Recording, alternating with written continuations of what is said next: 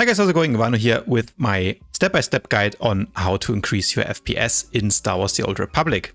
So already for a long time I watched all of the guides that you probably have also watched on how to increase your FPS in this game, little tricks you can do with your CPU and so on. Cease also made a guide recently, I will link that one in the description below because it helped me as well, maybe it will help you too. But this one today will really be a step-by-step -step guide explaining exactly what I did to make my game run faster and also smoother. And at the end, I will also show you what results I got in terms of an FPS boost compared to before. Okay, so step number one, and the most impactful thing that you can do to improve your performance in Star Wars would be to upgrade your CPU especially. Why the CPU? Well, in this game the CPU matters a lot more than in maybe other games, simply because of how the engine works. So the game is not very graphically intense, and when it comes to PvP, most of the load will be on your CPU and the RAM in order to handle all of the buffs, debuffs that are applied to your character. So when it comes to group content, this also applies to bigger raids, for example, world bosses. Your CPU is really what's limiting your performance. So the thing about Star Wars is that it doesn't really take advantage of the modern multi-core CPUs, and at most it really uses two cores. So what you want to do is to get the fastest single or dual core CPU that you can afford. I found personally that the X3D CPUs from AMD perform very well. And if you want to have AMD, you have to make sure to get a fast RAM that matches your CPU. I made a video on my exact setup, so if you want to check out what I'm running, I will link that in the description below. Now, obviously, I know that not everyone wants to spend quite a bit of money just to get a bit more FPS in a 14-year-old game. But if you're already thinking about it, I just wanted to present my results. So this is basically the baseline. On my old system, which was I think a five year old system with an older Ryzen CPU, I went and recorded my FPS over many, many war zones and my average was at 56 with the 1% lows. So those would be the most laggy moments in the game, averaging 14.4 frames per second.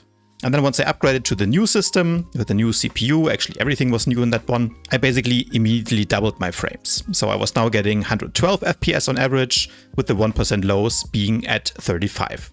So I put this one first, even though it's not really like a tweak or a performance tip. But long story short, if you have an older PC and you want to significantly increase your frames, the most important thing that you can do is simply buy a faster CPU. Now step number two, and I see this mentioned quite a lot, so this is probably not new for most people, is to install DirectX 9. Link to that is in the description below. I will not really go into the technical detail why this is important, but until they manage to make the game DirectX 12 compatible, simply know that it still runs on DirectX 9.0c. And if you have a newer operating system, Windows 10 or 11, that doesn't come pre-installed, so you need to download the old DirectX version from when the game was originally released. Step number three, and I would recommend this anyway, even if you don't play Star Wars, is to debloat and optimize your operating system. What I did was I went to YouTube and I looked for Windows FPS Boost Guide. And I looked at a couple ones. The ones I like the most I will link in the description below. It's quite easy to follow and should make it so your system in general is more optimized and there is no unnecessary background applications running which means that your CPU resources are fully available for Star Wars. So next step would be going to bitsum.com and downloading an application called Process Lasso. What this one does is basically allows you to optimize the way that your CPU cores are being used. And there's different options that you can do with this program. So this is how it looks. And once the game is running, you will see the SWTOR exe here. Make sure you use the actual SWTOR exe, not the launcher and you want to make sure that this is running at high priority. And then the next thing you want to do is basically make sure that your fastest CPU cores will be reserved for SWTOR and not run any other programs. And to do that, you simply go to all processes. And for example, if you have a browser running at the same time, you right click here, you go to CPU affinity. So this is basically which cores of your CPU this process will be running on. You go to always and you go to select CPU affinity and you can see that I have chosen CPU 0 to 3 to be unchecked. This means that my browser will run on the CPU cores 4 to 15. I have an 8 core CPU, so this is always a physical core, a logical core. This is basically core 1. This is core 2. And as you can see, these are all the, all the other cores. So if I close it, you will see here, all my applications that are not Star Wars are running on the cores 4 to 15 because the fastest cores in my CPU are the cores number 1 and 2. So I want to make sure, since Star Wars is only using two cores, that those are working with full capacity on the game. So in order to find out which are your fastest CPU cores, what you want to do is download an application called Ryzen Master. Out of the box, it will maybe look like this. So what you need to do is go down here, which is basically the advanced mode. And then to find out which of your cores are the fastest, you simply scroll down a little bit and you will see here all of your CPU cores. As I said, I have an 8 core CPU. And as you can see, the one that's marked with the star is the fastest core in my system, which would be core number 2. And then the second fastest core will be marked with this little dot. So core 1 and core 2 will be the fastest. So these are the ones that I want to reserve for Star Wars The Old Republic. Pretty simple. And then again, you go back here, you go to Star Wars, you make sure that all of these cores are toggled on. Again, the first four because of logical and physical. This would be core 1 and core 2. Make sure Star Wars is using all of them. And then take the other applications that you're going to be running in the background off of those fastest cores. Another thing you can do that can help sometimes is if you go to CPU Affinity always and click Disable SMT. What this will basically do is automatically disable every second core of your CPU. For some users, I think especially the ones that have something like 16 core CPUs, this can help with game performance, but when I personally tested it, it didn't change anything. So I will leave it on for now. That's something that you can try out for yourself. Okay, so next we're loading into the game. So escape preferences and you go to graphics. These are the settings that I use. They work quite well for me. First things first, you want to turn VSync in-game off. I personally play in full screen windowed mode because when I stream and tap out it's just more convenient and the performance is almost the same as full screen mode. Now obviously very important, you want to make sure that the frame rate here is not kept to something artificially very low. So I personally have it set to the maximum. You can also cap this to 120 or 100 depending on how powerful your system is and what kind of monitor you have. But in general, I keep it to the maximum. I also have a 240 Hz refresh rate monitor. So you want to make sure that whatever you choose here matches the refresh rate that's configured for your monitor. In terms of resolution, I tested 1440p and 1080p. I didn't find a big difference to be honest. So for me, it's really personal preference to play at 1080p, but especially if you have a good graphics card, 1440p might work as well. Then when it comes to the settings down here, I put everything on low and turn off all of the advanced features because again, I optimize for maximum performance. I don't really care too much about the game looking very nice. However, the one thing that I keep on very high is the visible character limit.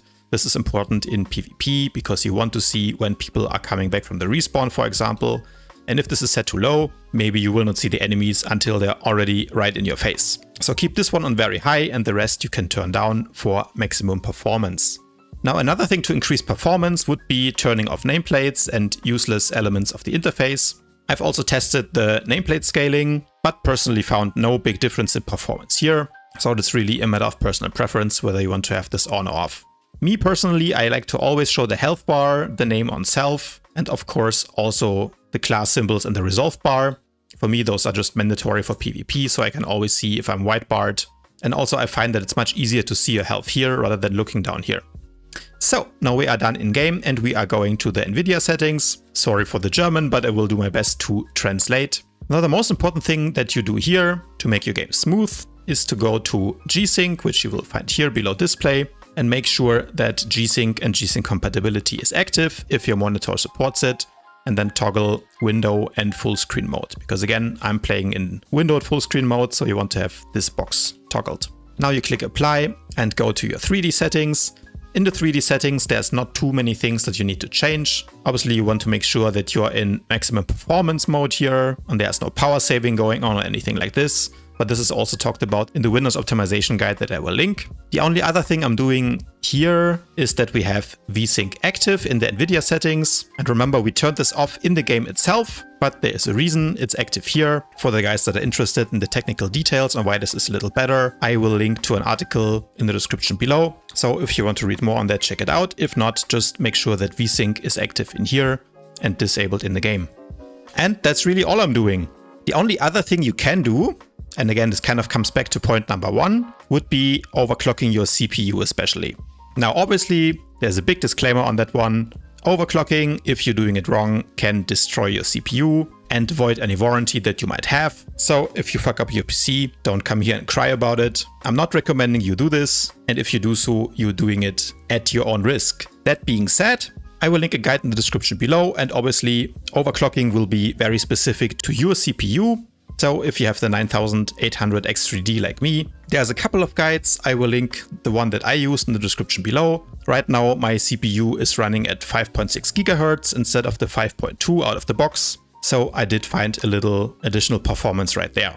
Because remember, the single core performance is very important. So having a 16 or 32 core CPU doesn't really matter if the game anyway just uses two cores, but boosting those two cores from let's say 5 GHz to 5.6 will give you a decent performance boost. So, after all these optimizations, how big of a boost can you expect? Well, in my case, I tracked the FPS over about 120 war zones, and from the baseline of my new PC that was completely unoptimized to the one that I'm running now, I saw an FPS boost of 18. So we went from 112 FPS on average to 130. And if my math is not wrong, that is roughly a 16% FPS boost. But when it comes to the 1% lows, I went from 35 FPS to 45. And in terms of percentages, that is a 28.5% performance boost. And notice 1% lows are especially important because, again, those are the most laggy moments in the game. So if you can improve those, the game will be much more playable and feel smooth overall. All of this, was it worth it? Should you do the same? I guess you'll have to decide that one for yourself. For me, especially when I record or stream the game, it feels a lot smoother now, which also made me enjoy the game a lot more again. And that might be anecdotal only, but since I have the new PC, I've gotten a lot more 20k DPS games than before, which might just be lucky or not. But I would say that, especially if you're playing melee classes, having a high and more stable FPS is very important, because it helps you move your character better and keep in range of enemies better, which means higher APM and more DPS. So give it a try. Let me know in the comments below how it goes for you. Hopefully this guide was helpful. And if it did, as always, don't forget to leave this one a thumbs up, subscribe to my channel, and I'll see you guys tomorrow.